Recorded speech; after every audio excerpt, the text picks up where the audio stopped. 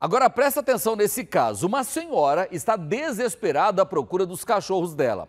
A dona Marineide sofreu um acidente na BR-153, na região ali da Vila Moraes, em Goiânia, próximo àquela entrada, né, que, daquela é, indústria de laticínio ali, né, na BR-153, que sai lá já no Jardim Novo Mundo, próximo ao Meia Ponte. O carro que ela estava foi atingido por um caminhão e capotou.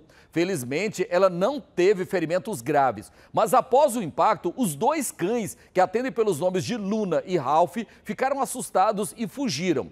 Agora, a Marineide está à procura dos bichinhos. Eles podem estar feridos e precisando de ajuda. Né? Quem tiver informações sobre o paradeiro da Luna e do Ralph, entre em contato pelo telefone 992 28 6374. 992 28 6374.